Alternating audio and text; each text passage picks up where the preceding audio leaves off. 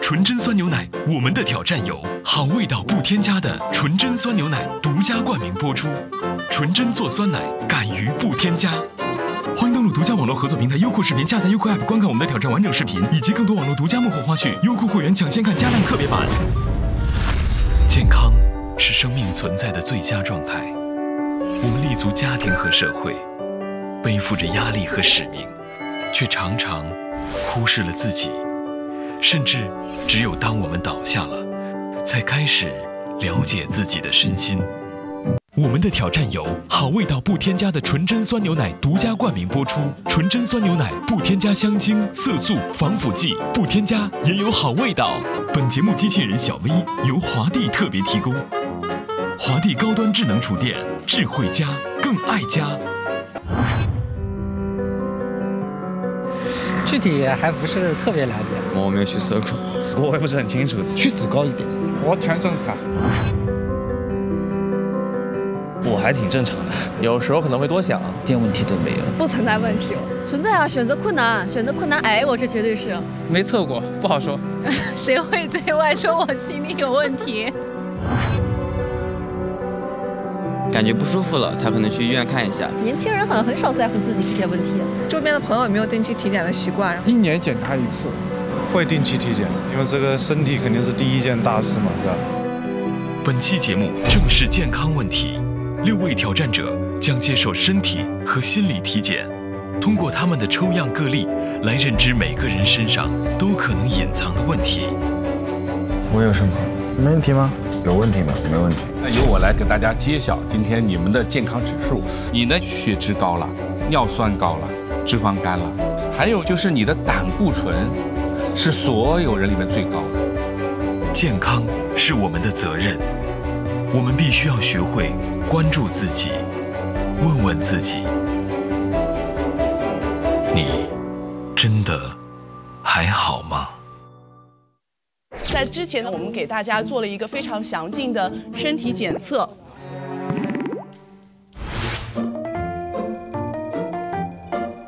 来，先做一下一般检啊，身高体重。哦啊，身高也要说啊，我身高不是保密的。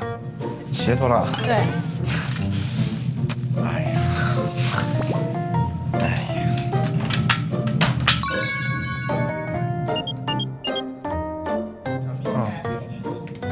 我一七零了？我是一七二，我怎么是一七零啊？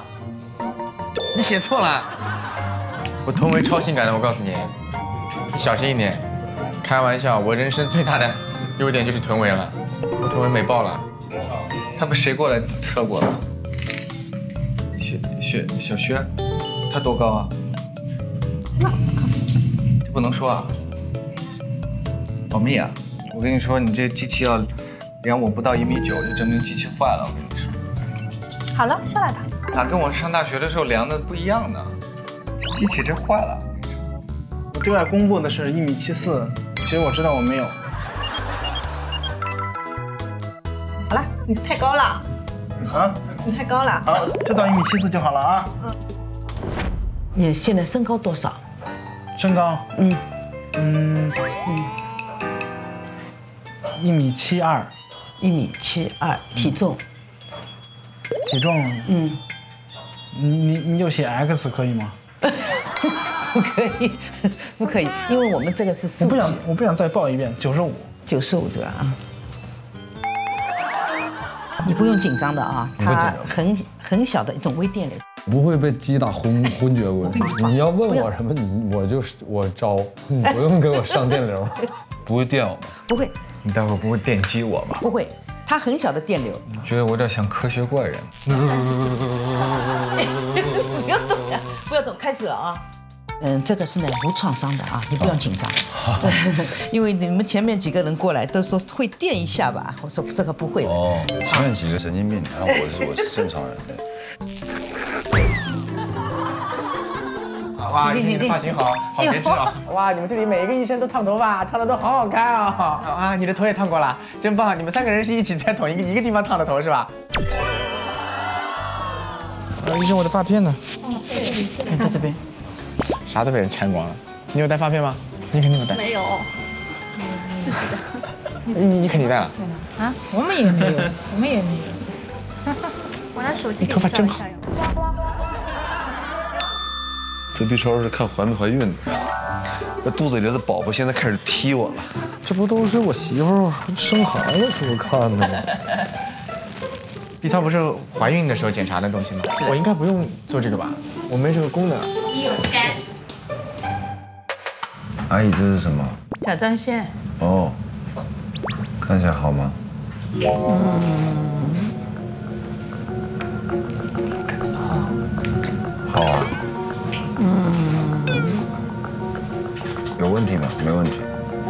个不要紧的。啊。怎么了？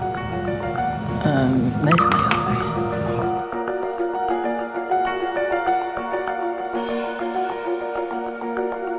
今天我们在现场为大家准备了象征体脂的五花肉，每一块是五斤。你们觉得你们身上的体脂会有多少？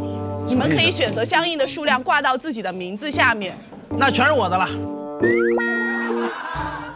我最多就一块了吧？捐钱一个不可能，一个你都死了。五斤吧，差不多了。五斤就五斤就快死了，起码两。什么？当然了，五斤五斤就快死了。我没什么常识，我两个沙溢不可能三个，我觉得沙溢得六个，五个。你看我都八个了，我也来一个。你何止八个？你自己看底下。我把你挂满了。如果还真没钩子，如果能有钩子，还给你再。听人劝，吃饱饭。你是肉摊他这个是摆摆摆摊的。摆摊的 啊，我帮大家查一下数啊。黄晓明四个二十斤肥肉。你按照那个宫廷那个叫那个报报号啊，来。宫廷报。正正式一点。那不叫太监吗？来来来来。沙溢 在旁边扶着他的时候，我都感觉沙溢是宦官了。说挺好听，还宫廷爆法。黄晓明四个二十斤肥肉，刘烨四个，沙溢四个，阮经天三个十五斤，薛之谦两个十斤。我 等会儿查一下。二四六八十十二十四十六十七个，一百零五斤肥肉，一百，怎么算的十七个？怎么一百零五斤肥肉呢？八十五斤！哎呀，这没文化真可怕。我跟你说，我觉得我真的不止。我我跟你说，我腿粗屁股大，我腰粗。不可能，不可能，不可能，有可能再加一个，再加俩是绝。我这不就二十了吗？你可能。结果已经出来了，月月得了第一名，大家恭喜一下。月月体重一共是一百六十斤，肥肉八十五斤。好，下面我们请我们专业的医生来为大家揭晓结果，有请医生。医生有请。大家好，我是崔医生。崔松医生，上海曙光医院心内科主任医师，硕士生导师，国家中医药文化科普巡讲团专家。今天呢，由我来给大家揭晓今天你们的健康指数。先从体脂开始。体脂，体脂。正常的体脂，男性是百分之十到二十，高于百分之二十，可能以后面临着一系列的慢性病。太低的话呢，那有可能就是营养不良。哦。第一个。刘烨，啊，到，你的体脂按比例算出来是十一点九公斤哦，所以算上应该挂几个？五个。啊，那我我少挂了一个去，少挂一个。还有两个比较接近的，黄晓明是十二点八公斤，阮经天是八点三公斤。哟，正好，正好。下一个，沙溢，你觉得你比黄晓明多还是少？差不多吧，我我我不是腿粗屁股大的，激动什么？我是比较苗条的，腰细。你那叫腰？你十五公斤，十五公斤肥肉。我我我不是腿粗屁股大。还有一个人呢，太低了，薛之谦，你只有六公斤。挂两个差不多，风一刮就刮跑了。在上海这个城市要抵御台风的话，还是要稍微多吃多吃点吧。我为了一年一度的台风，吃成吃成那样，吃成吃成那样。这是龙卷风的等级。我这样很恶心吗？我多少，医生？你呀，你你挂了多少？我挂了十二个，十二个是吧？你觉得多了少了？还不够。下面的用上了吗，医生？那我不想活了。没那么多，你就十三。云峰，你是三十二点七公斤，肥肉啊，肥肉占整个体重的三分之一还多。六十五斤肥肉，我的天哪！啊，真的要锻炼了，好恶心啊！觉得是六六十五斤肥肉。其实呢，光看这个肥肉的多少，还不是最关键的。我们在座的这几位里面，有一位是身材看着挺好，但是肚子上长肉。谁？还是我吗？该不会是我吧？我就应该我们仨中间。所以说您直接公布吧。刘烨。刘烨他是一个看不出来，但是他的腰围已经到一百个厘米了。你先撩开看一眼，撩开看一眼，过来，撩开看一眼，你你撩开看一眼，你笑啥？你原来你原来一直装啊你啊！摸一下摸一下啊！哎呦，你一直都出表情了叶子。哦，你原来一直是装身材好呢？没有。我们说男性腰围九十以上就算多了，说裤带越长寿命越短。接下来我们就要看各位的身体的各项指标。我们先从黄晓明说起，你呢，胆固醇是所有人里面最高的啊。小明的那个胆固醇比月月还高吗？对啊。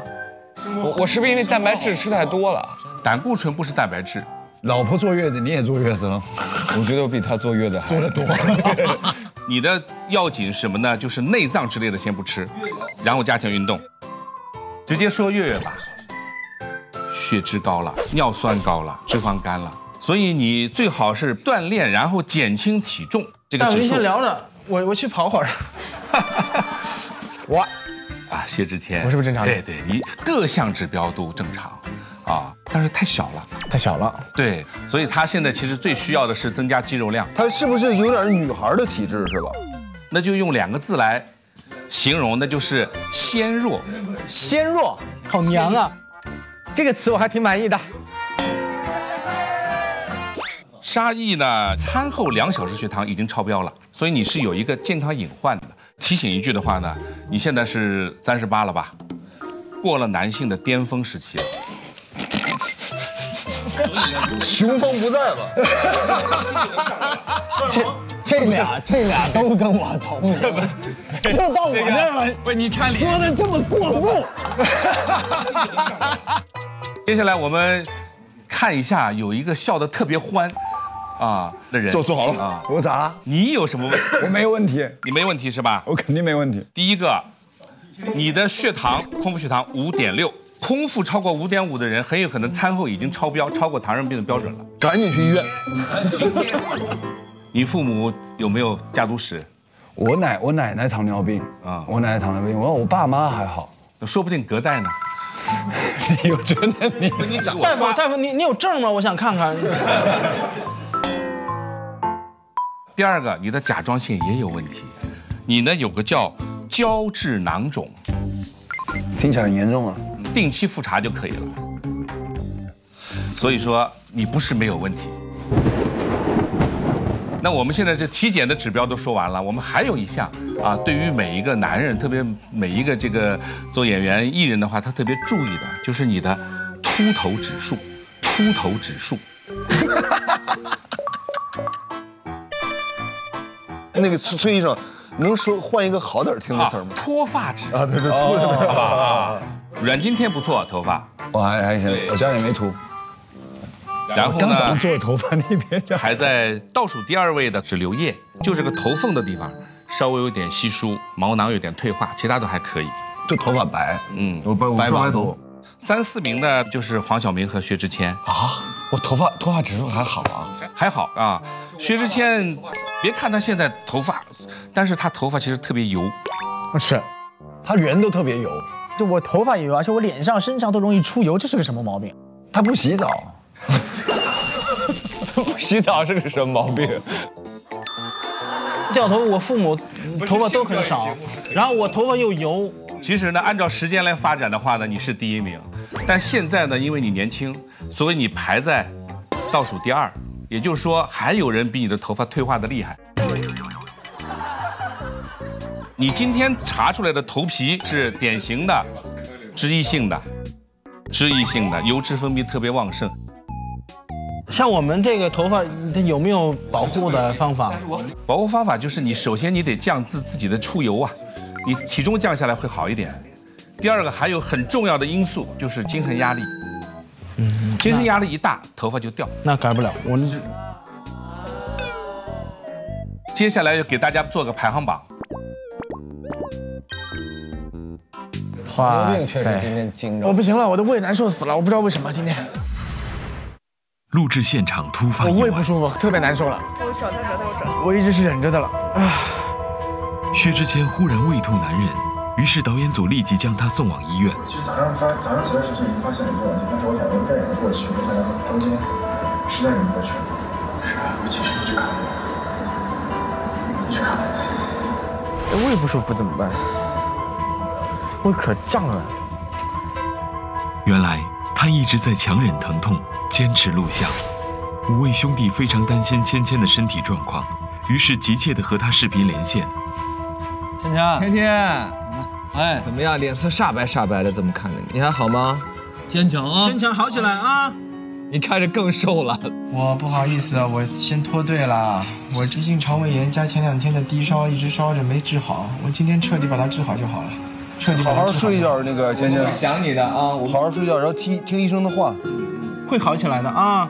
这一刻，六个兄弟心系彼此，希望芊芊能够早日康复。加油，拜拜。崔医生，虽然芊芊不在，但她的问题你还是都要说出来的。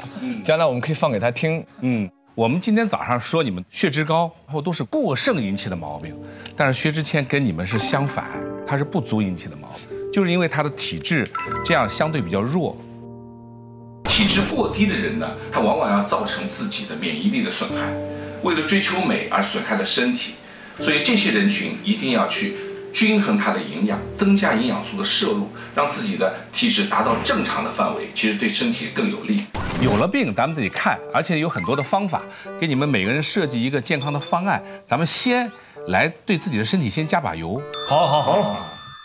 大家都知道这个果蔬汁啊，又好喝又营养啊，而且呢，这个如果把果肉、果泥弄进来以后呢，还可以通过代谢带掉一点我们多余的胆固醇啊、脂肪之类的。接下来我们就是通过一个答题的环节，然后来喝这个果蔬汁啊。那么我这边有题目，大家听到这个题目以后啊，就抢那个道具五花肉，抢到的人才能回答。在回答问题之前，你先指定一个套餐，如果你答对了，你可以指定任何一个人喝。如果你答错了，只能自己喝。好，好，我们答题前要先抢，抢到才能答，是吧？啊，对，没有一个好喝的，我估计。这道题目啊，在中国，医疗的求助电话是多少？开始，开始。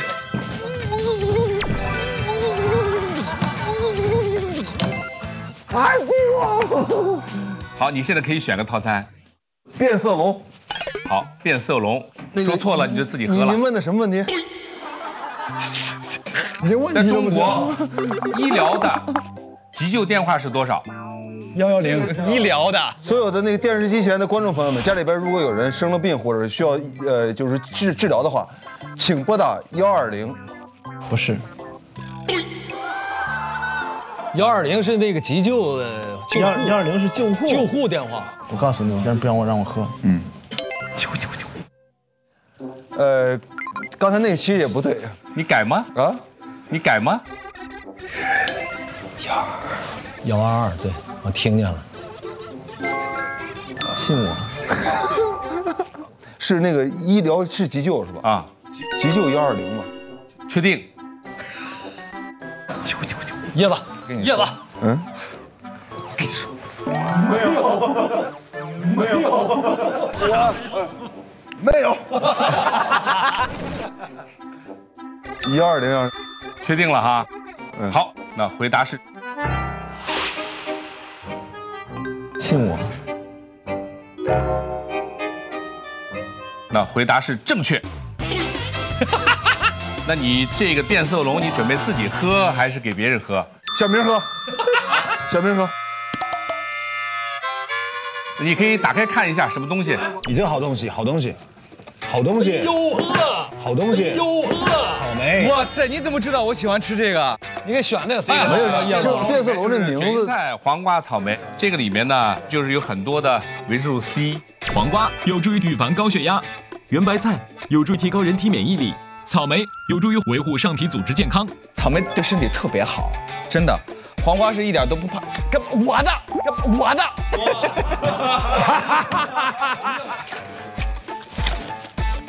这不用你直接在嘴巴里面嚼，已经不用不用榨汁了是吧？啊，要榨汁啊。他直接吃也行，直接吃更好，因为你榨汁以后没有纤维素。我们第二题，九头身，九头身知道吧？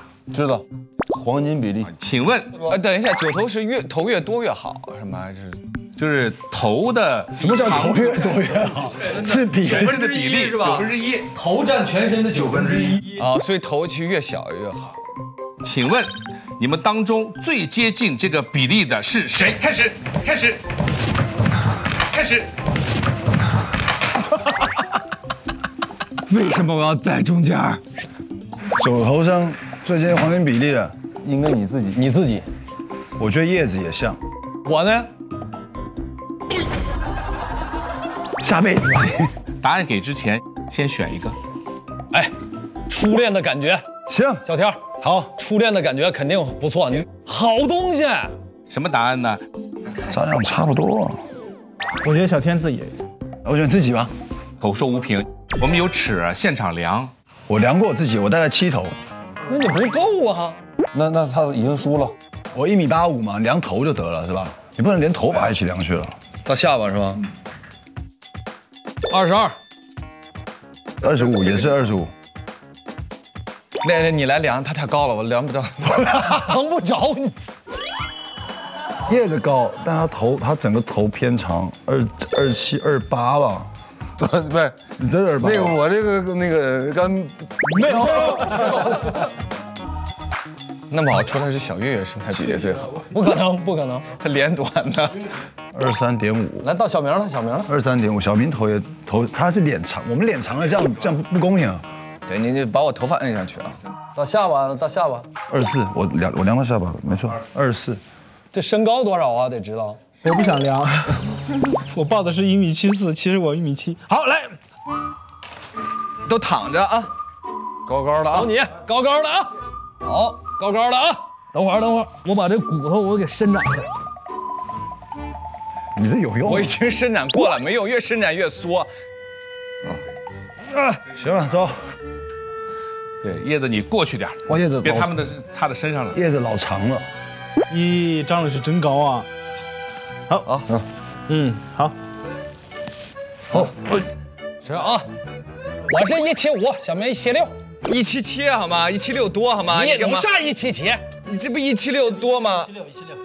哎，你要不要这么赖皮啊？哎，小明哥，其实其实下边八一七六其实下边这个是你，你量的你不知道吗？我我知道啊，高高的啊，你高高的啊。你刚才不对，我刚才伸长一点，快点。怎么又怎么又伸长了呢？你这还不如刚才了啊！小明是上面那条，一七七。小天一八六，一八五，一八五，一八五啊，一八五，叶子一八八，一八八。好，量完了。我我来宣布一下啊，老沙是七点零八个头，刘烨呢，他虽然有一八八，但是这个脸一长只有六点七个头。黄晓明是七点三个头，哦，还行哎。小岳岳也是七点三个头，你？哇，哎，最接近九头的就是阮经天，八点四个头，啊。那这个呢是可以自己喝，也可以给别人喝。我喝，怎么了？对不对？我喝。凭什么初恋的感觉给你啊？我没有过初恋的感觉呀。我真的没有初恋过。真假的？啊。那行，给他吧，给他吧，给他吧，给他吧，给他吧，给他吧。我都想喝了，那算了，还是你喝吧。你都想喝？榨汁啊？姜片？怎么还有姜片呢？哎，其实喝点姜挺好的，对，真的。番茄有助于增加胃液酸度，调整肠胃，帮助消化；葡萄有助于补气血，益肝肾；姜有助于驱寒、祛湿、暖胃。这个呢是用番茄、葡萄和姜汁儿。其实番茄、葡萄呢，其实它那个皮啊，还有方切切红素啊，都是抗氧化的，抗氧化就可以抗老化，所以就是年轻的感觉。然后呢，初恋的时候有点火辣辣的感觉，好喝吗？好难喝啊！你怎么能说难喝呢？这是初恋的感觉啊！初恋是有一点点甜蜜，但有一点点苦涩的，对不对？挺难忘的。下一个题啊，当我们闭上眼睛，捏住鼻子的情况下，能不能分辨出可乐和雪碧的味道？开始，开始。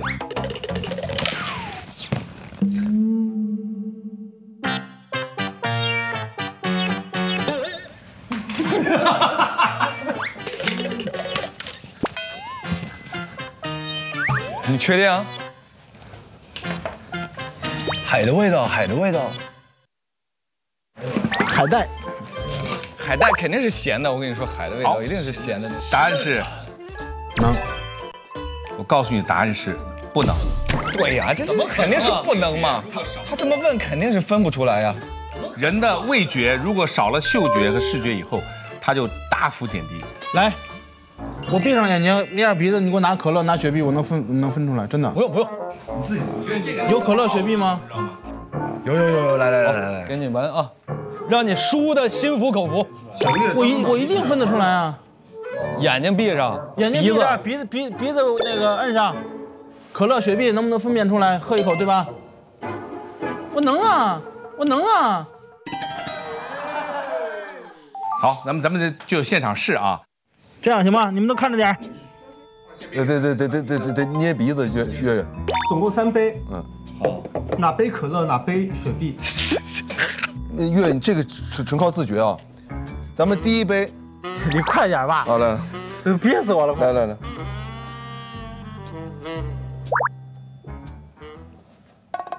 好，好，捏捏住了。好，咱们第二杯。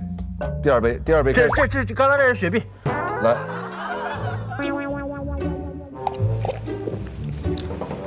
来，你真捏住了啊！雪碧，雪碧，雪碧。可乐，两两杯雪碧，一杯可乐。好，月，你看一看。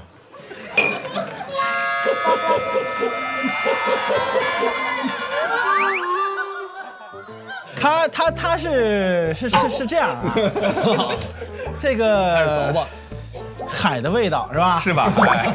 海的味道，真尝不出来啊！小月真喝不出来啊，尝不出来。我就看着喝，我让我喝。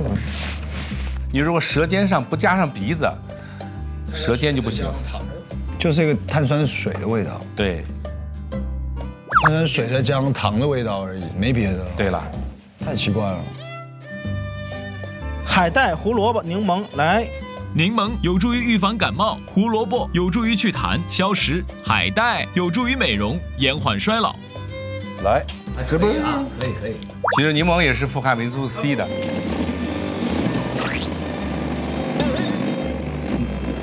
是不是太少了？你这个没有，它海带没打，它直接拌在里边。海带一打就没了。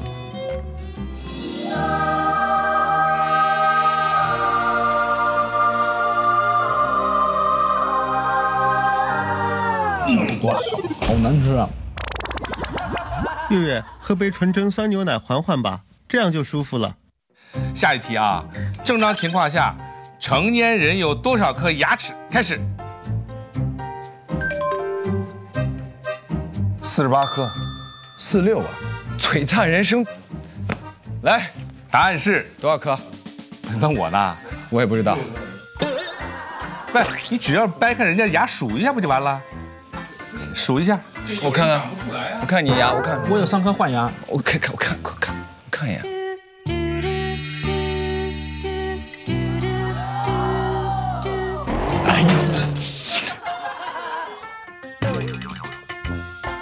我看看你的，真的。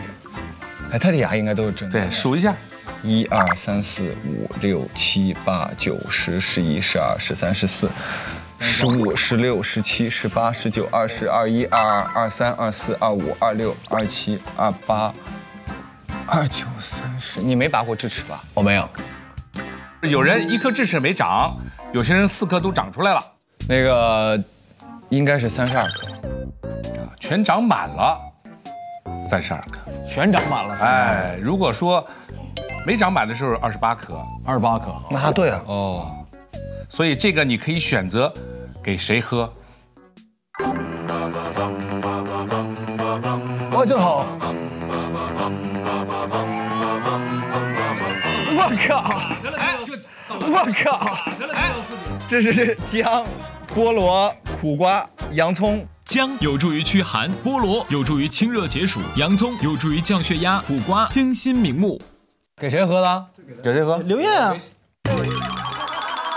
所以他人生里面最主要是什么呢？想给大家喝的就是苦瓜，对，苦瓜降糖。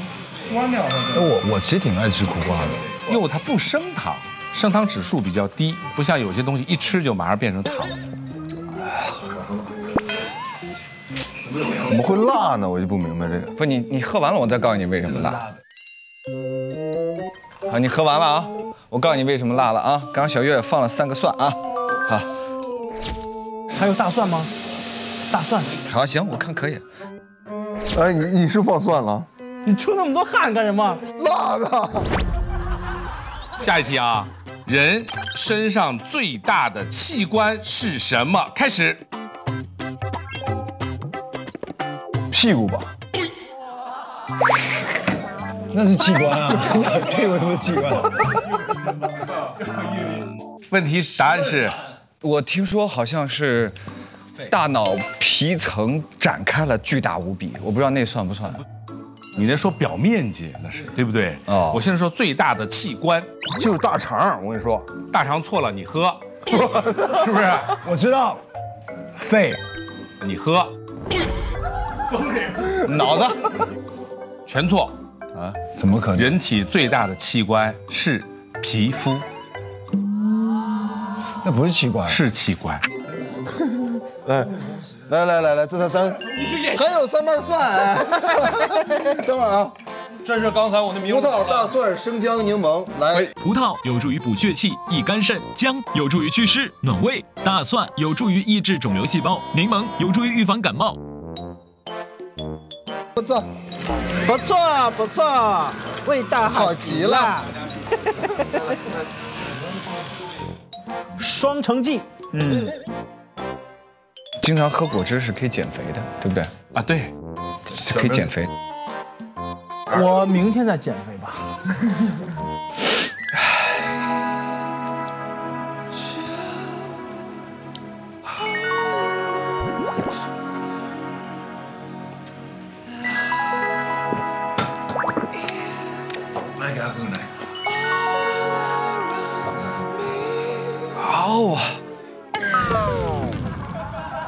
真的是辣，眼泪都辣出来了，你就知道了。辣，谢谢。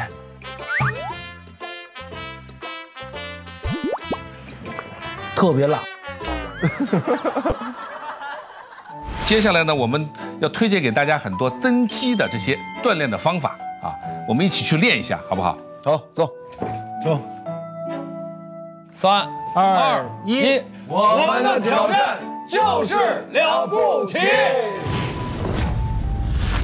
Go Go 五六七，and 一二三四五六七，愣着干嘛？这是健身操课，快来跳操啦！我们现在先跳一段，我要看一下你们的程度，然后准备跟我做，一二三四五六七八。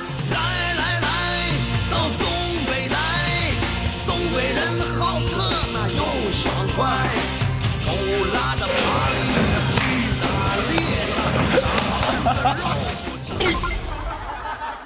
我们进的是老年人活动中心吗？所以现在开始，快去换衣服，进入专项训练，快去换衣服。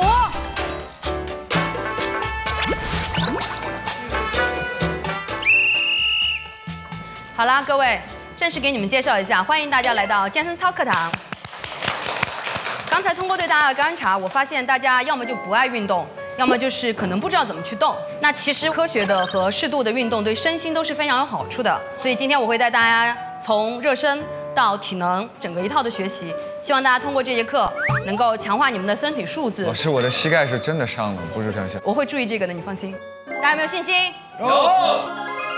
热身做得越好，锻炼的功效就越好。希望大家不要忽视热身，尤其是身体有伤的同学。准备，双手往上，吸气，脚尖抬起来，收紧腹部，延展脊柱，放腿，好，向下，把我们的脚向前迈一步到中间，然后双手上举，身体向前，踮脚尖。高位起跑，这个锻炼你们的大腿肌肉啊。小天不错哦。小明膝盖伤就后腿放下，后腿可以放下。脚尖垫起来，脚尖垫起来，肚子收回去。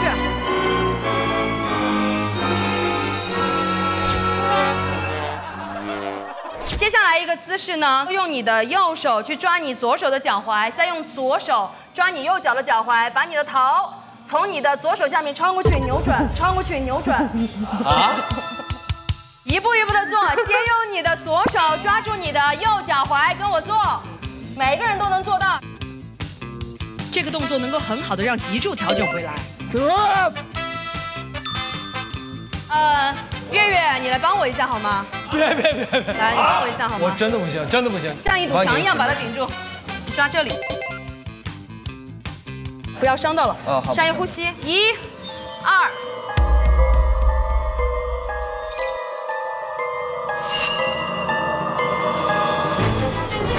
你来吧，老师他说，来一二，啊走你啊！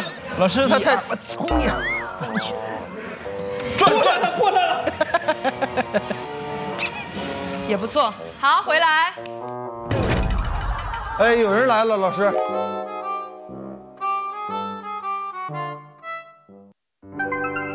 好了，你怎么样？没事吧？掉了好一点了，老师，我现在可以回来了。那老师，他这个输液完之后，应该不能马上运动吧？对你不能马上运动。你要不要躺一会儿在地上？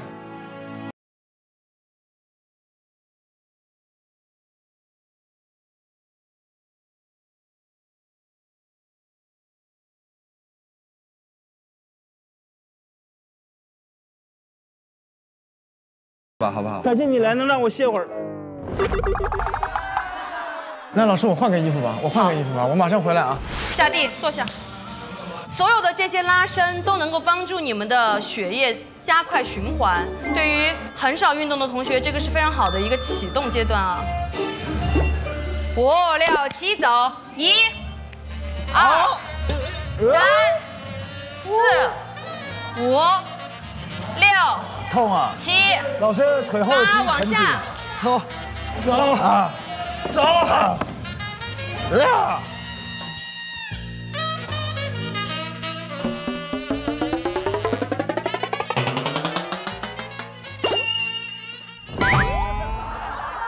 啊，不错不错不错，非常不错非常不错非常不错。你觉得自己做的好吗？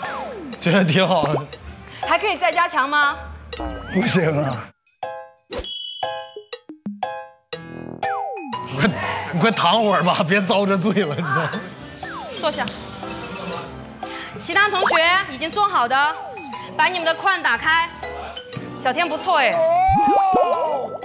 不错。除了小天之外，其他人看很差，为什么除小天之外因？为他这个比较平呢。你们比较有问题啊。我就一进来我就发现你对小天偏心。因为小天单身，你知道吧？没有啊，干什么？干什么？是吧？现在呢，在你们面前有六个盒子。接下来的体能训练呢，我们是要分组进行的。在体能训练之前，你们可以先去选一个盒子。三个六啊。打来打开你们的盒子看一下。嗯，两个六，哎，一个六，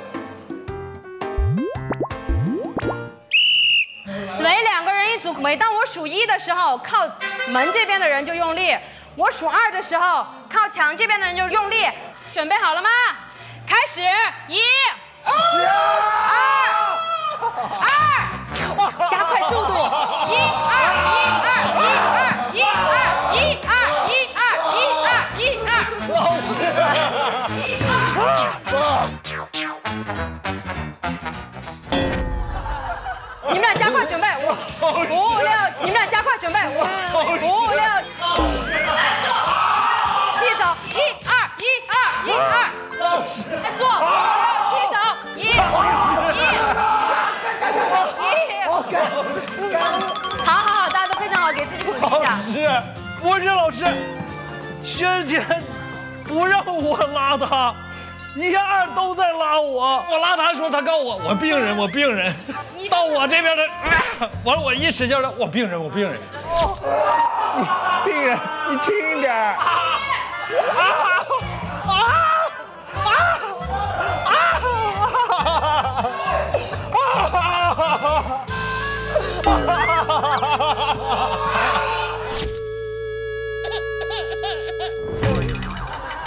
所有人做拍手俯卧撑，哇，哇，这个难了。你能做这个吧？弹正的那个，啊，跳那个，这可以做这个。我试一下。做。可以的，可以的。看刘烨，快一点！所有人看刘烨，准备走。刘烨，刘烨，大家来帮沙溢一把，来来来。谁能抱得动沙溢的？我抱不动的。沙哥太逗了。他坐起来的时候，你把他的腰扶一下。五、六、七，走。月月也可以坐着，谁抱得动月月？让月月体会一下。先抱一只脚呗。准备开始，一二，走。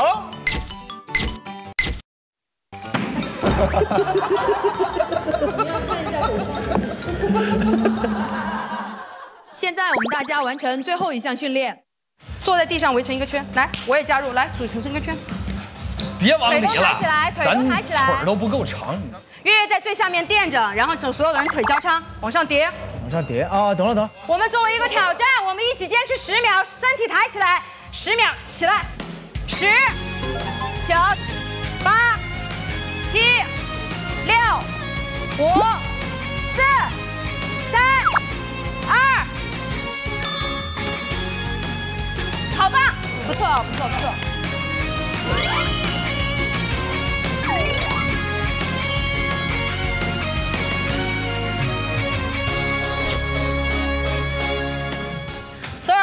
起来。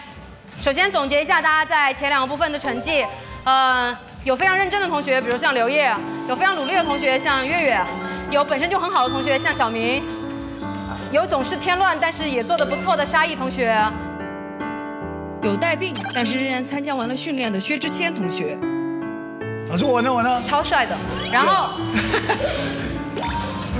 然后体能训练呢对大家来说有点挑战，可是大家完成的比我想象中的好，也希望大家更加努力。我们的口号是：我们的挑战就是了不起。现在我们是要去上海市长宁区凯旋路六百一十三号。我是安全宣传安全驾驶驾驶员，那个不是大使。大使员，你是驾驶员没错。请问这车的开关在哪儿？这儿，哎，这儿，这儿。哦，好了，找到了。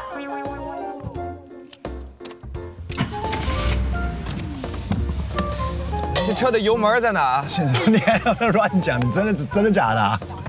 找到了。哎，咱们还有一个乘客呢。叶子来了吗？来了。是小明开车啊？小明开。对啊，因为他没驾照啊，只好我开啊。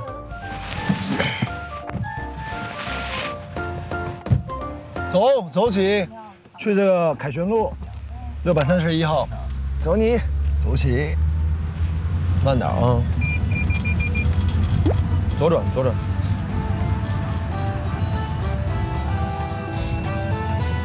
刚才那老师是真的有肌肉的，他他不节食，所以他肉多，但其实掉头，掉头。其实这个女孩子是特别有力量，有力量。那她那俯卧撑那跳的对啊，她女孩子可以做俯卧撑跳的，真的不是开玩笑的。baby 喜欢运动吗？她喜欢，但是她练的少。就是平时，比方说像那个，她就喜欢游泳、爬山什么之类的。嗯，不行，她不爱。前方红绿灯她喜欢动，但是她不喜欢运动。但你练健身，baby 不可能跟你一起练健身。嗯，我每次在健身房健身，她就在旁边坐着打游戏。快点，好了没？你好了没？支轴。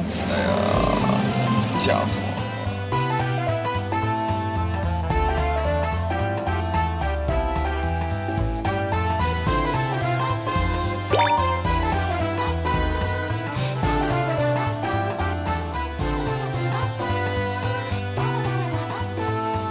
对这儿啊？嗯，让你停着。哎呀，到了，当代艺术馆啊！哦，小剧场还可以。我们演观众，你看，给我给咱们的位置。好好好，嗨，哎，这有那个，让咱们坐这儿，箭头。来，月月讲相声，来，就是就这样说呀？不然不然呢？谢谢大家百忙当中来这儿听相声。不忙不忙。好，好，好，好。不是观众带捧哏，这我实在是没法演。那个，咱俩说一段。我我倒也想说，但我不会啊。你给捧，愣来好不好？来，他来了。那黄晓明平时也够愣的了，也也不怕这一下了。你说，这样说，他有个秘诀，应该是就是啊，我呀什么是吧？他有几个，他教他几个，就是对对对点，对告了。请大伙儿听段相声啊！对，一个人说那叫单口相声，两个人说那叫双口相声。我还没说呢，这不是你刚教的吗？不是捧哏的，别那么多话哦。那个，谢谢啊！上台来先做一个介绍，我是相声演员小岳，我是相声演员黄晓明。谢谢谢谢谢谢谢谢各位。呃，不管在哪儿演出，就这会儿其实应该有掌声的，我不知道今天是为什么。今天是因为可能我长得好看了点，所以大家都看呆了，所以就忘了鼓掌。是是是我是是是，见过不要脸的，没见过这么不要脸。是是是。那个感谢大家的到来啊！其实我不愿意跟他在一起说相声，这个人呢，智力不怎么行，没有没有智力，对不对？对对。呃，我们我们一般那个智力都是都是好几好好几好几千好几千 T 呀、什么，他是零 KB，他这个人呢，基本上都是都是个弱智。承不承认？承承承承承不承认不承认啊！不不不不承认不承认。讲这个，不承认 是不承认是不是？你捧哏的都得承认，你知道捧哏的人说什么？对，我呀啊是。你来来你来。这这主题适合小明。是是，嗯，还不承认自己弱智，不承认自己傻。承承承认承认承认。你不能承认啊！不不不承认，不承认，不能不承认哈！啊，不承认。这样吧，我出道题考考你好不好？啊，说说，什么东西非驴非马？骡。小天说骡子，对不对？对，骡子，骡子像驴又像马，是吧？不对，不对。牛，它像马，它差不多。牛怎么能像马呢？牛就牛嘛，你就猜不到就完了。啊，好，猜不到。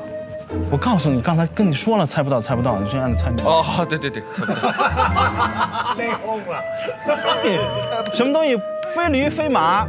答案是企鹅。为什么为什么是企鹅啊？因为它不像驴，也不像马。黄鼠狼行不行？对呀，也行。你说呀。那我刚才说牛了，为什么？我让你说了，包都跑了。好，谢谢，谢谢，谢谢。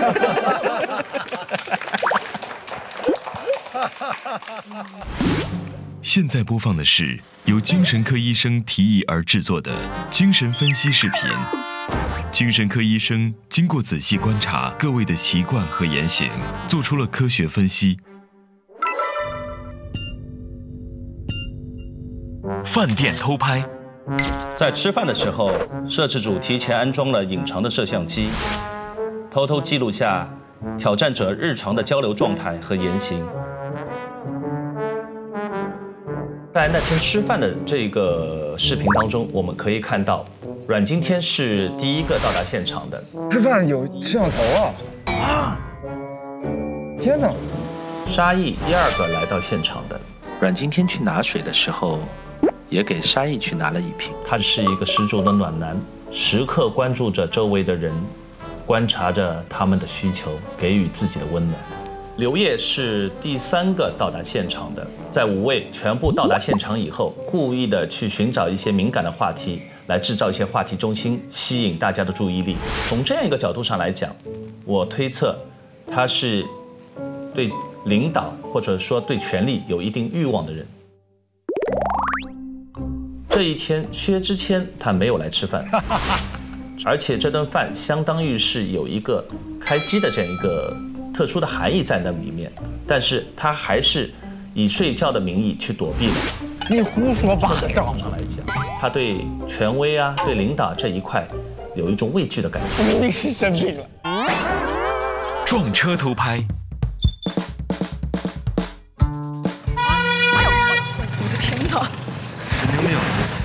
在到达医院门口，摄制组安排了一辆摩托车，故意飞快地从工作人员身边驶过。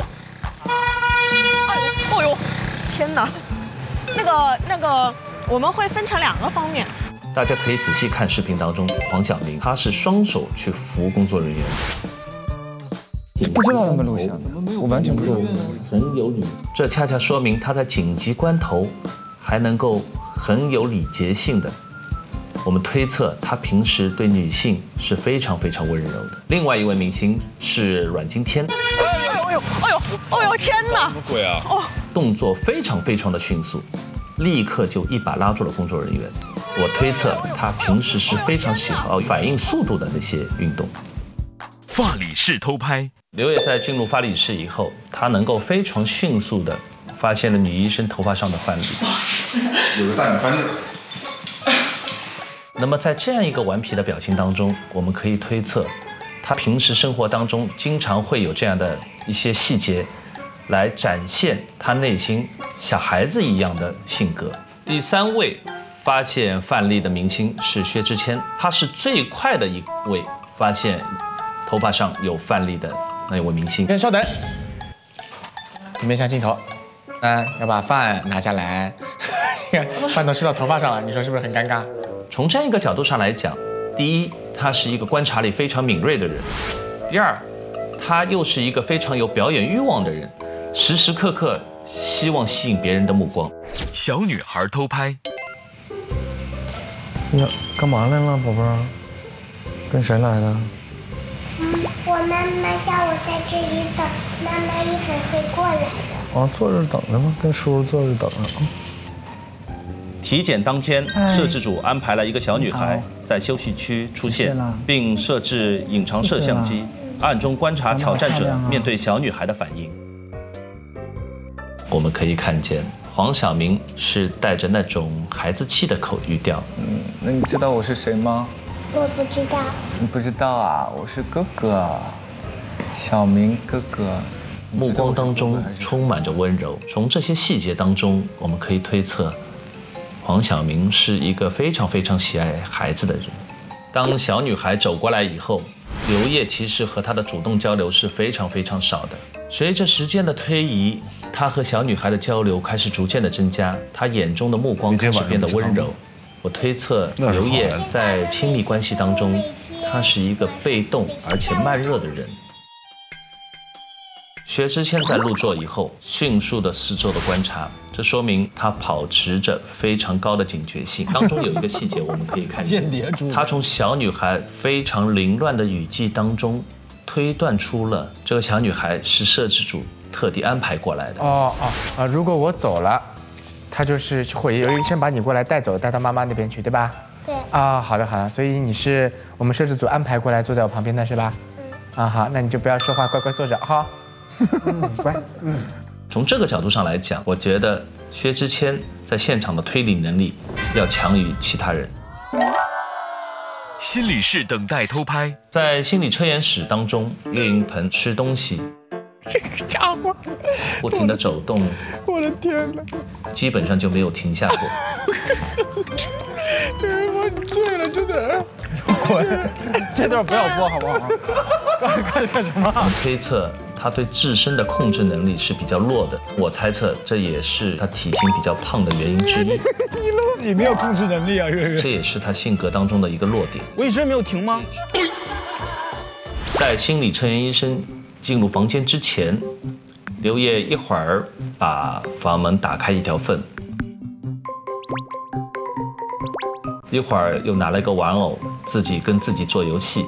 这时候我们可以看见他的儿童态又出现了，他内心的那个小孩子又开始冒了出来。神经病，这是个神经病。没有。下面请倪晓东医生。大家好，倪晓东医生，上海市精神卫生中心、上海市心理咨询中心副主任医师、心理治疗师、催眠治疗师。今天我是带着你们所有的心理测验的结果过来的。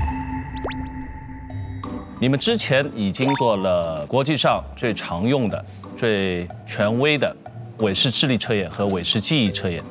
智力测验分为木块测验、填图测验、常识测验、理解概括能力测验。下面给你看一张图，看十秒钟啊，看完之后把这个图的内容画在这里啊。这两个一样吧？一样的是吧？嗯。啊，下面来拼啊，开始。这我不会，这个这很难啊，这个很难。哎，不难的，啊，试试看啊。你能给我两天时间吗？下面呢，给你看一张卡片，上面二十样东西啊，给你看一分半钟，你把它记住。帽子、袜子、裤子、老虎、香蕉、猫、老虎、鸭子、羊。斧头和锯子它们有什么相似之处？你把它共同点概括一下，告诉我啊。斧头、锯子都是砍木头的工具，都可以用来断木。其他的什么概括可以说出来？也那再说就感觉我好像心里有问题了，我不能告诉你。都可以成为凶器。鱼靠什么来呼吸啊？鱼啊嘴。鱼靠什么来呼吸啊？鳃。一天当中什么时候人的影子最短呢？中午。人体中有哪几种血管呢？动脉、静脉、毛血管。北风为什么比南风要冷一些，要凉一些？你知道远近的事儿。冰和水啊，同样大小下哪个重哪个轻？同样大小。嗯。水。通过这些测验呢，我们得出了每一个人的智力测验的结果。先来说一下，第三名的得分是九十四分，是沙溢。这是有问题还是没问题？这是高还是低啊？一般我们正常人的得分是在九十分到一百十分，如果能够超过一百十分，已经是非常的聪明了；超过一百二十分，那么智力已经是超常了。那医生沙溢是九十四分，对，九十分是低是吧？低啊我那我一百什么玩意儿？好，接下来我来说第二名，第二名的对，得分是一百零二分，是黄晓明。哦，你比他聪明。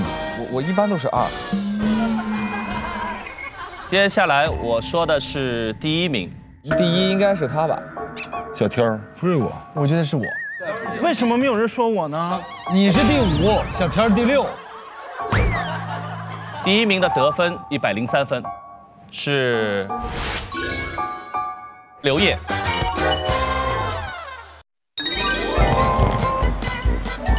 你干啥？当当当当当的当当当当。哎，你也就比我高一分而已啊。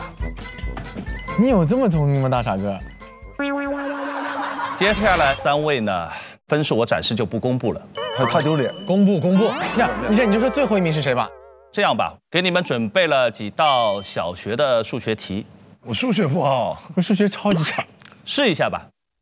一千加上四十，再加上一千，再加三十，再加一千，再加二十，再加一千，再加十，总数是多少？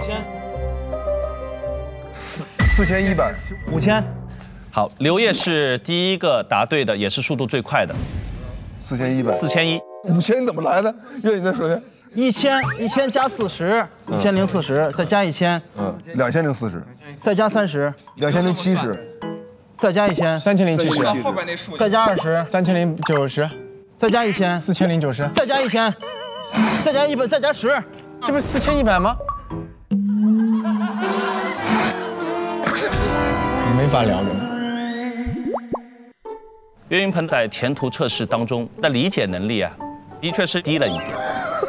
理解打个比方来说，就是说你和他说一件事情，有可能他点头，他表示他听懂了，其实他根本没听懂。和他说一件事情，有可能他点头，他表示他听懂了。你说到心坎里去了。你说的什么？我没有听懂。好，下一道题，还想再做一道题？咱们都不答，咱们就看月月答。我就不信了。有两个数字，一个是零，一个是一。嗯。如果我在这两个数字之间加一个什么样的符号，嗯，能够让它比零大，比一小？什么样的符号？约等于？你再想一个。点点点点。零点一啊？啊。零点一是不是比一小，比零大？哎妈呀！你智力最后一名，你就认了吧，你就是智力最后一名。其实呢，人的智力和性格呢是有着密不可分的关系。做智力测验的过程当中呢，也是对你们认知能力进行一个全方位了解的一个过程。那有利于从更多的角度去了解你们的心理状态。下面呢，我们来对我们所做的沙盘测验来进行一个具体的分析。沙盘测验是通过被试者在沙盘上摆放的沙具的位置以及它们之间的相互关系，来了解被试者的潜意识，构建出他们的心理世界。第一个，我先来说一下刘烨的吧。在刘烨的沙盘当中呢，我们可以看到这样，有美人鱼，但是呢，旁边有沙漏，还有死神。说明他内心很期待着一个完美的爱情，但是呢，他内心呢也是非常的矛盾。所以你看他在下角放了一个三步蛙，他自己也是这个青蛙王子的一个化身。给你一个标签，二哈，哈士奇，在工作当中他非常的认真，但是呢，在平时啊，他时不时就会露出来一些孩子气的。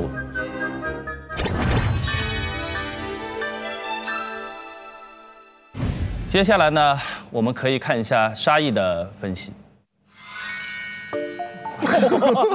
这是个世界啊，这是，这是沙溢心中所展现的世界。可以看到，他是非常注重一个田园生活，注重一个家庭的。但是呢，他一直在权衡家庭和工作之间的这些的比重。沙溢展现的是一个非常沉稳、成熟、理智。也会很尊重其他人的意见。接下来呢，我们来看一下薛之谦的，到我了。你就这么点玩啊？好孤独啊你！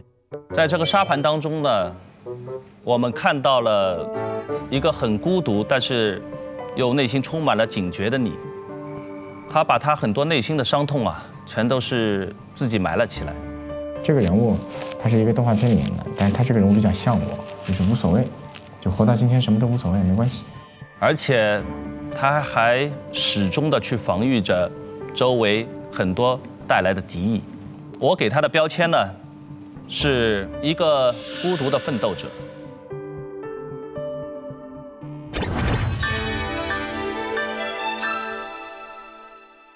接下来呢，我们来看一下岳云鹏的。这特别像幼儿园小姑娘摆出来的，藏着一个小女孩、小公举。在岳云鹏的沙盘里呢，我们看到了是一个非常恋家，也是非常追求平淡生活的一个人，和我们平时所看到的奋斗的、在事业上拼命打拼的一个岳云鹏有点不一样。所以我会觉得岳云鹏其实内心有点孤独，而且呢，很需要别人的支持。我会给他一个标签，有着一颗玻璃心的小孩，很敏感，很脆弱，很期待着别人给他阳光，需要人疼，去温暖他。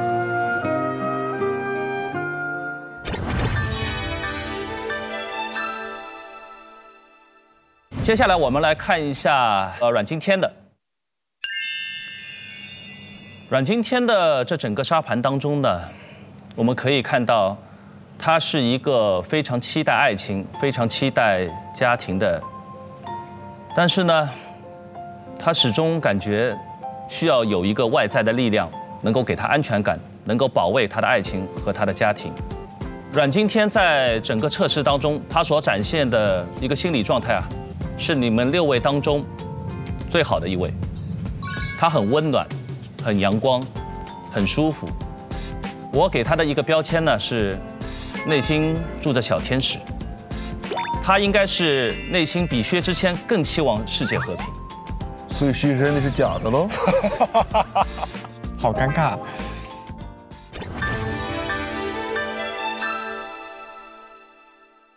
好，接下来我们来看一下黄晓明的。他在摆这个沙盘之前啊。在沙盘架前面足足徘徊了将近有二十几分钟。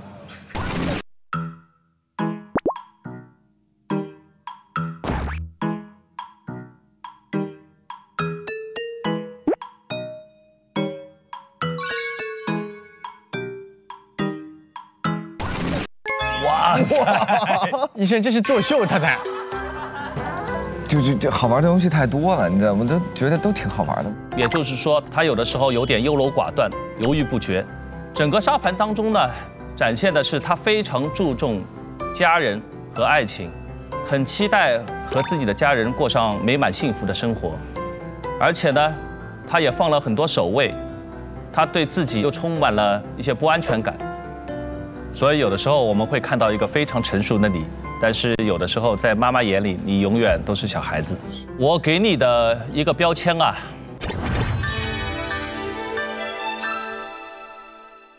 你们在沙盘测验当中呢，或多或少体现出了一些问题。结合了其他的一些测验的结果，我将对其中一些个别的问题呢，进行一个重点的分析和进行一些心理干预。刘烨，你请到台前来，我有一些个人的意见和你交流。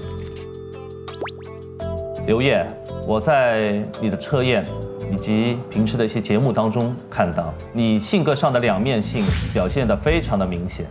有的时候呢，你显得很高冷，表现得不合群；而有的时候呢，你又表现出调皮捣蛋的一面，显得有点幼稚。我给你设置了一个特殊的场景，来帮助你更好的体验一下你的两面性。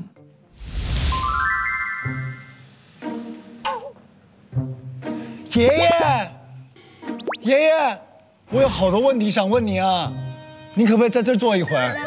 我是最最近在做一个作业，有关于你是最近以来第一个还活着在世得到终身成就奖的演员，所以我想要做一本有关于您的传记，您能不能有一些问题帮我解答一下？可以。我知道爷爷的这一生啊，很精彩。那我想替爷爷做一个重要的回顾。爷爷，您人生当中有哪几个很重要的阶段啊？唉，没有。爷爷这一生啊，其实是三个阶段：红的阶段，不红的阶段，想红的阶段。哦，爷爷的这一生里面。事业上升的阶段挺红的，还有微博的红人阶段，以及最后一个暖心爸爸阶段，是这样子吗？那在二零零三年闹非典的时候，全国剧组都停了。听说爷爷您还拍了九部戏、五部电影、四部电视剧，当时是什么信念支撑你那么拼下去呢？我觉得作为一个演员，最重要的应该把作品展现给大家，其他的没有。哦。就不细算什么。当年我上过一个真人秀，叫做《我们的挑战》，我都活着回来了，可不可怕？哦，爷爷，我明白了。所以当时您那么拼下去的原因，就是为了刷一个存在感啊。好，你不用说，我知道的是。那爷爷，我还有一个问题，就是您在微博担任社长，听说做的比演员还火，那是什么事来着？这你都不知道？火华社嘛，这么有名不知道？微博最红的就是我了，一直到那个叫薛之谦出来写段子为止啊，被他干得死死的。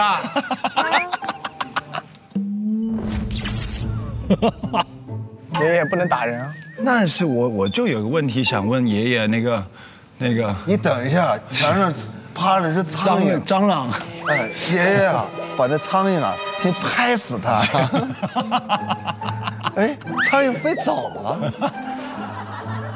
微博挺简单的，嗯，比拍戏要容易，让自己不用拍戏风里来雨里去的，得到一些关注。但爷爷毕竟是演员，不像有些人，他只靠微博。明白。所以那个时候，您跟这位薛之谦算是死对头了。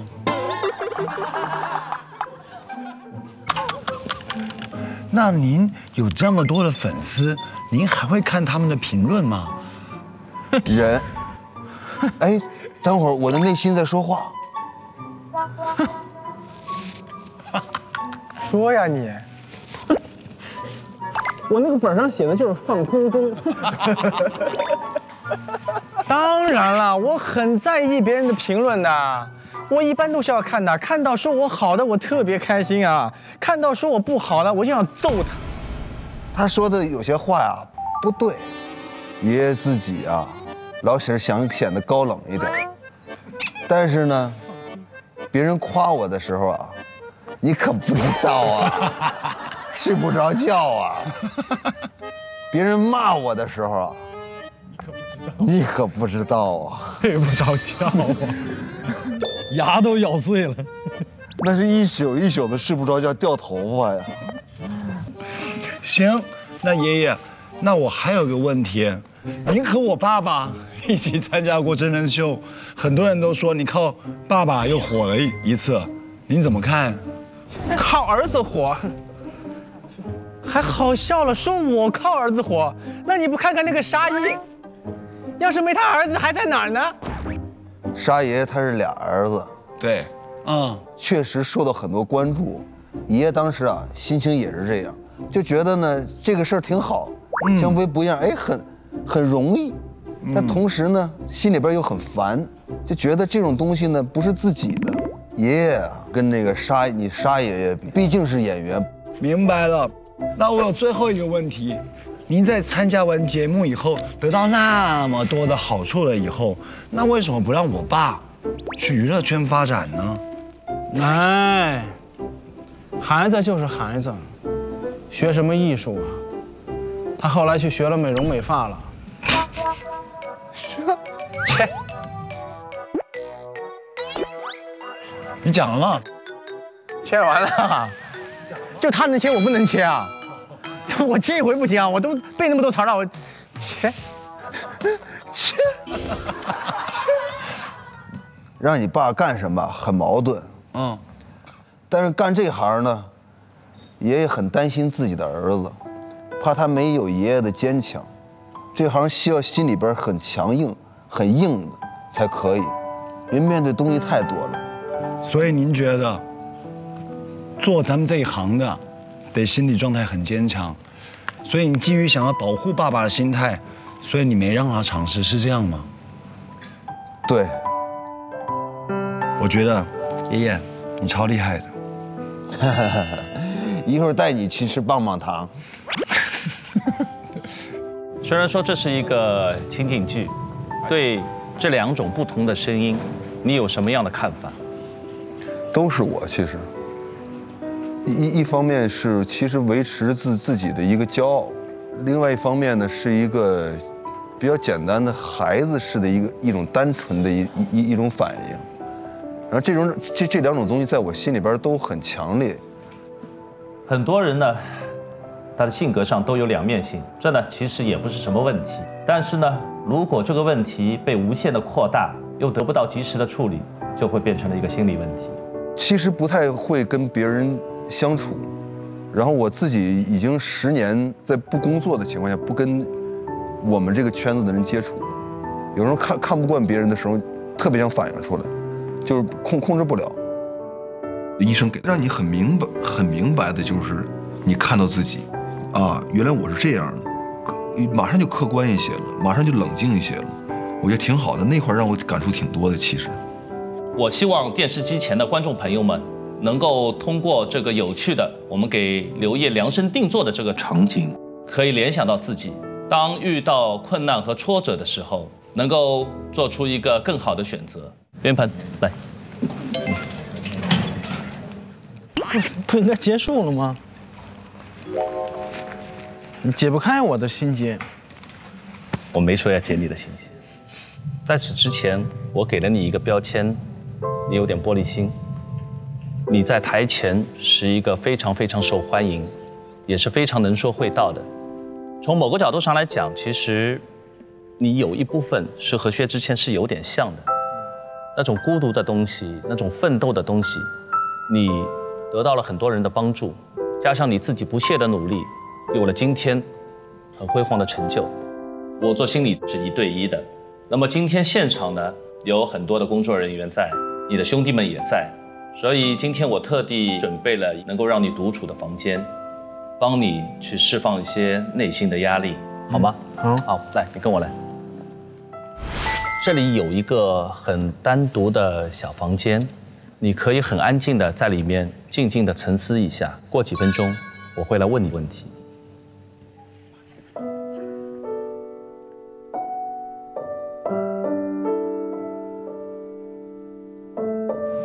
估计你现在说话他都听不见。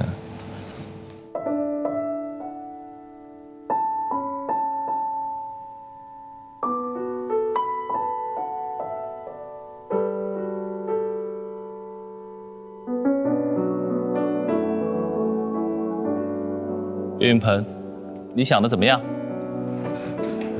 好，我不知道你还记得吗？上次我跟你做访谈的时候，那一天我看到了一个特别疲惫的你。最近一段时间啊，你自己觉得你身体状态怎么样？不好，不好是吗？嗯，我需要短期内没有任何的工作。这一年里，我只休息了七天，但是我还有一个毛病，就是一闲下来就觉得自己没有用。你很担心自己被周围或者说被这个世界所抛弃掉，是吗？很矛盾，很矛盾。就比如说工作就很累很累，就特特别想好好歇几天。比如说有三天的假期，然后歇到第三天的时候，心里就就毛了，就为什么让我休息？是没有用了吗？是没有价值了吗？是怎么样？反正很矛盾。但是现在急需要休息，需要深度的睡眠，然后去缓解一下自己。其实说相声呢，能够成为一个综艺咖，能够去录录制真人秀啊，能够去参加各种节目啊，其实很难。那么是什么在支持你？我这几年在圈里碰到过很多人，他们都很照顾我，都很喜欢我。尤其我师傅这么多年，他有很多社会的舆论，他有很多压力，可是他对我真的好，他给了我太多太多。我媳妇儿她给了我一个家，她帮我照顾孩子，照顾我妈，她帮我处理我工作以外的事情，她处理的井井有条。那么你觉得你为他们所做了些什么，付出些什么？我为他们做的就是，我不让我师傅，不让我师傅生气，不让我师傅就是为我操太多的心，因为我怕给他找事儿，我怕，嗯，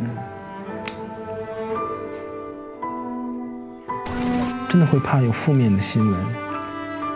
我也会跟朋友喝酒，和朋友打牌，虽然都没有赌钱，我就会把窗帘拉上，这是我消遣的时间。我就会怕媒体拍到啊，说怎么怎么样，说小月在赌钱豪赌啊这那的，他们会会。对，我现在有可能就截那么一段。嗯，很无助，很无助，就是想自杀，就是觉得生活没有意思，抛开一切世俗观念，就就就离开这里，啊。可是我不行，我不行，我爱我的孩子，爱我的家里，就任何一个人，我甚至爱我的工作。我不会选择去自杀呀，去一种去极端的方式，我不会。我想赚很多钱养养活家里，虽然很辛苦，真的很辛苦。通过给你做测验，包括我跟你访谈，我所看到的是一个一部手机，光在用，老是充不满电，但是呢还得保持工作的那个状态。嗯，对你来讲，某些成人世界的东西会带来太大的压力。你呀，不太擅长和别人去交往。从我们心理学的角度上来讲，你的支持系统很薄弱。除了你的家人，我猜想你的朋友很少，他们给不了你一个非常全方位的、很及时的一个支持。你始终在孤军奋斗。我就是这样的一个性格，当下我就这样，没有自信，我不想让你们看到我呀，是是是是怎么样？我台上那些个表情，我说的那些相声，那些那都是我的工作，我没有办法。我不喜欢跟朋友去一起去吃饭，因为一旦到了饭桌上，他们都渴望我去抖一个包袱，逗他们开心。哎呀，你为什么不开心？为什么？我说我所有的话都在台上说了，恐惧，恐惧跟他们去吃饭。你要得知道，一个人有的时候通过团队的帮助，我可以出去吗？也能够让你充满力量。我可以出去吗？好吧，边鹏来。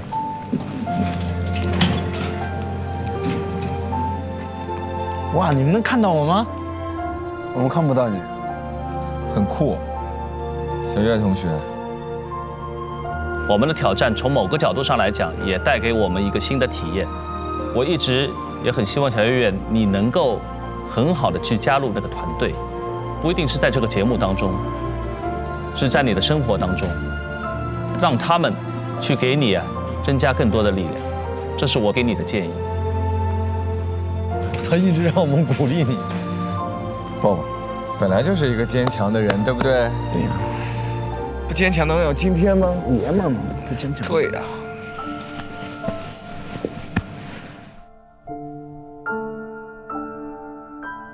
薛之谦，啊，请到台前来。我有些话想和你单独交流。在你们所有六位成员当中，你是让我内心啊感觉最担心，也是最心痛的那一位。我不知道你是否还记得我让你做沙盘的时候提到了一个咖喱饭，嗯，当时让你想到了你的奶奶，嗯。如果这些东西里面有一样是能够去代替你心愿的，最想要的那个心愿的，你觉得大致是哪一部分的东西？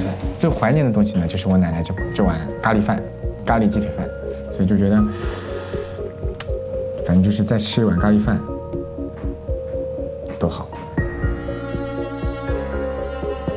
我看着悲伤的你，我脑海当中会跳出一个联想，你一定很多的话没有对你奶奶说完。你还记得奶奶给你做的最后一顿咖喱饭是什么时候吗？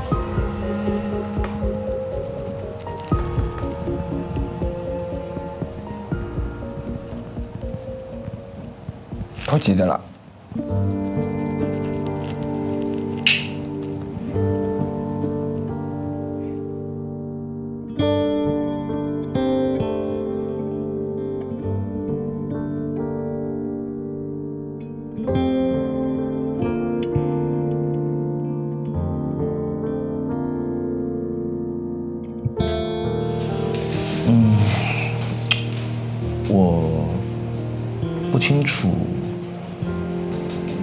什么样的位置？但是我猜想，他是你生命当中很重要、很重要的一个人。嗯。哎，怎么会聊成这样？哎呀！哎，怎么会聊成这样的？这个心理测试是有问题的。我不喜欢这个测试，一点都不喜欢。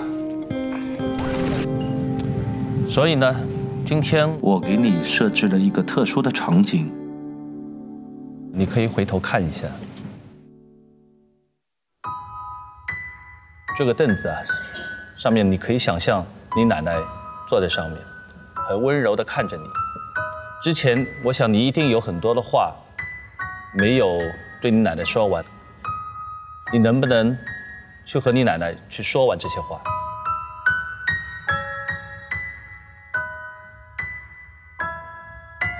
不可能，不行，说不出来。我不想这样。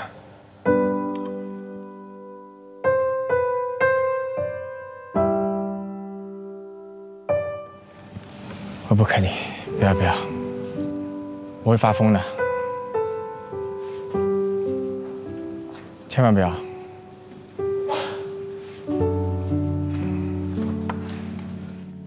好的，就这样，听我讲一句，因为我会觉得这是你内心的一个很深很深的一个伤痕的东西。我只不过是希望你能够在一个安全的角度上，去把它给修复。我觉得它对你一生当中影响的东西太大太大，就像我之前给你贴的标签，我的标签是给你的是一个孤独的奋斗者，所以在沙盘的时候，你把很多东西，把一个埃菲尔铁塔，把一些贝壳、把蛇全都埋了起来。我知道你内心埋藏的是有多么多的伤的东西，这些东西。根本不是说一段话或者埋一样东西就能够解决的，所以，这也就是前面我说，六个人当中，我会最担心你，我也会最心痛，这就是我的担心，这也是我的感受。觉得，我当时看到那个灯光打下来的时候，我已经基本上快要疯了，但是我觉得那是我的。自己心里的事情，我不愿意让人看。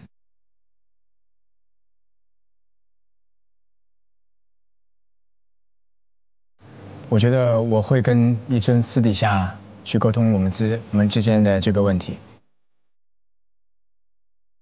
我心里是不健康，我从头到尾都没觉得我自己心理健康过，要不然我就写不出这些情歌，要不然我就不会抑郁。对，嗯。我们每个人心目当中，其实内心深处啊，都会有些痛，只不过是每个人的痛的东西都不一样。它会阻碍我们成长，但是有可能也会帮助我们去成长，只是看我们怎么去处理。有些人战胜了它，有些人就是没有战胜。我们身体上出了问题，有了病，我们会去医院，但是往往不够重视心理上的问题。或者说，发现自己心理上有问题，也不愿意去承认。通过这一期节目呢，希望电视机前的观众朋友能够重视起自己可能存在的心理问题，能够及时的找到一个正确的处理方式。国家高速发展，然后每一个人呢，可能对于自己的事业都充满了冲劲儿，所以说，同时呢，可能心里呢也会多多少少有各种各样的压力。因为做这行的，一出去就几个月时间，然后吃饭没规律，睡眠没规律。到肠胃炎的时候，我整个人是烧着，一点都不好受。其实我在外面基本上睡不着，可能那天是实在是太难受，而且睡了两个小时。当起来以后，第一件事情就是跟我的经纪人说：“我们回去吧。”其实，不只是他们，我们每个人身上都肩负着责任和压力，却常常忽视自己。我觉得我一直都是一个特别开心的人。牛啊！后来医生跟我说，我才知道，其实不是的。我太在意别人感受了，就会让自己变得很累、很辛苦。其实精神方面的疾病是很多人没有意识到的，也是不太注意。他们就像每一个普通人，奔跑在人生这条路上。可我们都应该偶尔停下脚步，多给自己一点关注。通过看我们六个人各自的毛病、问题，然后医生的讲解，怎么去纠正、去克服，能够让看电视的人有一个更好的生活习惯，这是最重要的。这期不光是给我们六个人治病了，也给电视机前亿万观众朋友们上了一堂课，觉得很有意义。谢谢医生，谢谢您。我们的挑战就是了不起。我们的挑战有好味道不添加，经万人品尝打破吉尼斯世界纪录称号的纯真酸牛奶独家冠名播出，纯真做酸奶，敢于不添加。本节目机器人小 V 由华帝特别提供，华帝高端智能厨电，智慧家更爱家。欢迎登录独家网络合作平台优酷视频，下载优酷 App 观看我们的挑战完整视频，以及更多网络独家幕后花絮。优酷会员抢先看加量特别版。感谢纯真酸牛奶独家冠名，感谢华帝高端智能厨电。欢迎登录独家网络合作平台优酷视频，下载优酷 App 观看我们的挑战完整视频及更多网络独家幕后花絮。优酷会员抢先看加量特别版。本节目独家 VR 视频由微鲸 VR 联合出品。登录新浪微博，搜索我们的挑战节目关键词，进入微博互动专区，实时进行互动，赢大奖。下载有态度的网易新闻，看更有料直播，看更有料挑战。登录网易邮箱大师，参与写信互动，就有机会让嘉宾为你圆梦。感谢新浪娱乐、搜狐娱乐、腾讯娱乐、网易娱乐、凤凰娱乐、荔枝网、国际在线、华数 TV、今日头条、搜一代、喜马拉雅 FM、界面新闻 APP 三六零搜索对本节目的大力支持。下载网易新闻客户端、新浪新闻客户端、腾讯新闻客户端、搜狐新闻手机客户端、凤凰新闻客户端、荔枝新闻客户端、萨克尔新闻客户端、唱吧 QQ 看点、QQ 兴趣部落、QQ 音乐酷我音乐酷狗音乐、零四传媒八十。